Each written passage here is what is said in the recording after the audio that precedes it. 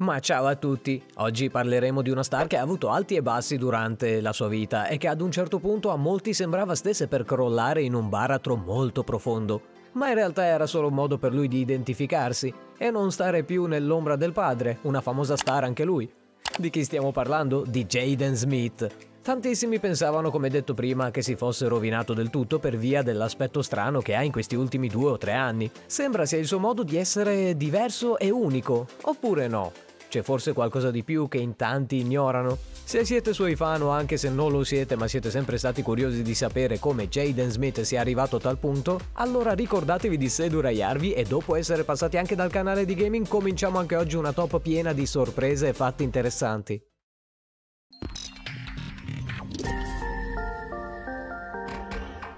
Ovviamente per sapere qualcosa di qualcuno bisogna iniziare dall'introduzione. Magari molti di voi non sanno manco di cosa sto parlando o di chi sto parlando. Il suo nome completo è Jaden Christopher Sire Smith ed è uno dei figli del famoso principe di Bel Air, Will Smith, e Jada Pinkett Smith, che ricorderete sicuramente per il divertentissimo film Il professore matto. Quante risate mi son fatto. Che succede, fratello? È nato nel 1998 e attualmente ha 21 anni, anche se non si direbbe. Tra i figli della famiglia possiamo trovare anche Willow Smith e Trey Smith, lui è quello che si è fatto notare di più durante gli anni però. Non fa solo una cosa, è un attore, rapper, ballerino, cantante, modello statunitense e comandante dell'esercito di Sauron. Beh, forse l'ultima me la sono inventata. È stato spinto verso le telecamere ad un'età davvero giovane. Nel mondo del cinema non è apparso per la prima volta nel film alla ricerca della felicità come tutti pensano. Anzi, mi spiego meglio. In quel film ha recitato un ruolo importantissimo, ma la sua prima apparizione, anche se di pochi secondi, l'ha fatta in Men in Black 2 all'età di 4 anni. E vi dirò di più. La sua prima apparizione in televisione è stata in una serie chiamata All of Us, molto famosa negli Stati Uniti verso il 2003. E finalmente un regista di nome Gabriele Muccino ha deciso di inserire padre e figlio nel film Alla ricerca della felicità, dove addirittura Jaden vinse il premio come miglior performance rivelazione. Ma i suoi premi per essere un vero prodigio della recitazione non finiscono qua. Nel 2008, grazie al film Ultimatum alla Terra, insieme a Keanu Reeves, ha vinto il premio miglior attore emergente. Insomma, si prospettava una carriera con i fiocchi, o no? La vera esplosione di successo c'è stata grazie a Karate Kid nel 2010, con Jackie Chan, dove era al centro dell'attenzione di tutti, ma proprio di tanti. Infatti nel 2012 ha creato il suo marchio di abbigliamento e anche stile di vita chiamato MSFT S-Rap, in collaborazione con sua sorella Willow Smith e Matteo Arias. Insomma, ripeto, la sua carriera da attore sembrava stesse andando a gonfie vele, o no? E invece ora arriviamo alla parte buia. Che cavolo, c'è sempre un momento nella vita dove il karma vuole prenderti a calci nelle chiappette. Nel 2013 esce un film attesissimo da tutti perché i protagonisti erano Will Smith e suo figlio, di nuovo insieme, creando un hype così grande da far saltare di gioia le persone soltanto grazie al trailer. After Earth. Io tra tutti ero ansioso di andare al cinema e vederlo. Poi mi sono ricordato che ero povero e non avevo manco 10 euro da spendere per un film. Il regista del film era il famosissimo Night Shyamalan, conosciuto anche per la trilogia sull'atipico film di supereroi e cattivi che concludeva con Glass. Sì, quello dove c'erano i combattimenti in cui sembrava tutti si abbracciassero in modo estremo invece di lottare come nei fumetti. Ma a parte le mie opinioni senza senso, After Earth fu un fallimento totale. Will Smith l'ha definito il suo momento più brutto nel mondo cinematografico. Ha incassato solo 27 milioni nel primo fine settimana negli Stati Uniti, dopo che erano stati spesi ben 130 milioni per produrlo e 100 milioni per sponsorizzarlo nel mondo. Fortunatamente nel resto del pianeta è andato meglio, arrivando ad un totale di 243 milioni di incasso. Nonostante abbiano così recuperato i soldi persi, il film verrà ricordato grazie a sei importantissimi premi vinti dai protagonisti e pure dal regista. Peggior protagonista a Jaden Smith, peggior attore non protagonista a Will Smith, peggior coppia a Jaden Smith e Will Smith e per concludere peggior film, peggior regista e peggior sceneggiatura. Tutto ciò l'ha allontanato dal mondo del cinema e dico che ha fatto bene, non perché sia un brutto attore. A tutti capita di avere un momento no, ma perché una pressione del genere per un ragazzino di quell'età deve essere stata davvero enorme e stressante da sopportare. Fortunatamente non si è arreso come celebrità e dopo un paio di anni e un po' di giorni bui è tornato con il suo marchio di acqua tipo Chiara Ferragni. Ma in questo caso ha fatto una cosa molto più ammirevole e onesta Non ha venduto propriamente dell'acqua, ma si è focalizzato sui contenitori. Le bottiglie da lui create insieme all'aiuto di suo padre erano del tutto riciclabili ed erano state ideate per diminuire l'utilizzo di bottigliette di plastica e sensibilizzare le persone sul tema dell'inquinamento ambientale. Come avrete capito stava iniziando il cambiamento di Jaden Smith e da allora avrebbe cominciato a puntare di più sulla musica. A tal proposito ha iniziato la sua carriera nel 2010 con featuring insieme ad un bambino prodigio di nome Justin Bieber, con la canzone Never Say Never. Nel 2012 aveva fatto uscire The Cool Café, il primo mixtape, che ha avuto un seguito nel 2014 chiamato Cool Tape Volume 2.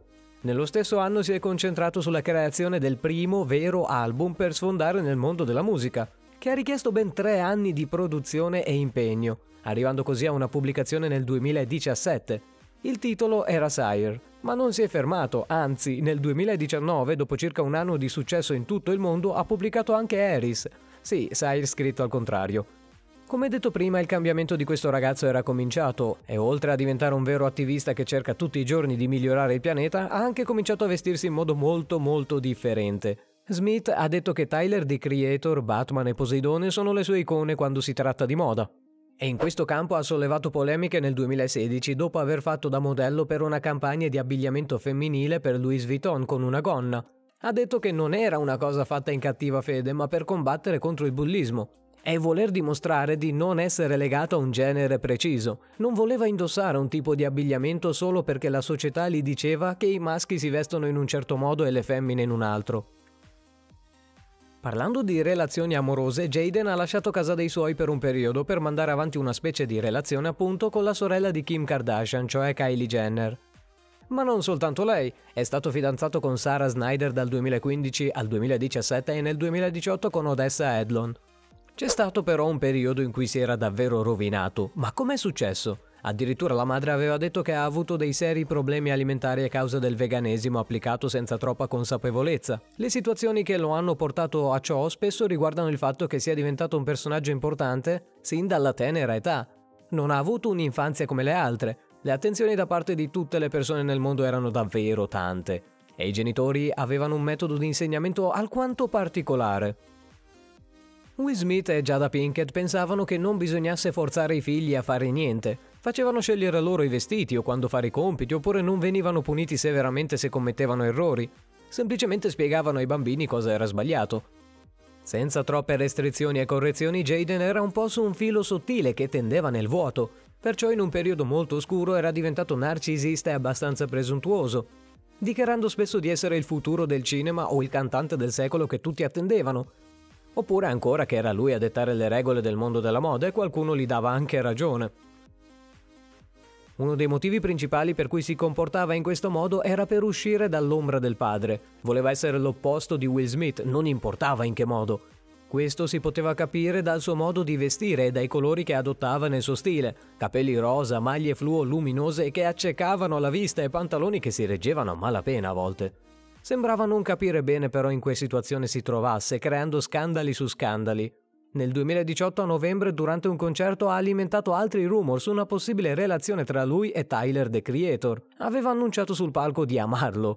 Tyler da sotto il palco aveva continuato a negare tutto, mentre Jaden ha insistito. In teoria stava scherzando, ma ricordiamoci che durante una campagna di moda aveva detto di non avere genere ed essere aperto a ogni tipo di amore. In un'intervista aveva ammesso di aver fatto solo un piccolo scherzo chiudendo questa storia una volta per tutte. Alcuni però ancora oggi hanno dubbi su questa situazione.